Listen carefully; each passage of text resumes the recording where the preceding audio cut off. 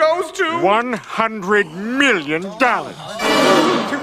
Mr. Peter Griffin for an astonishing $100 million.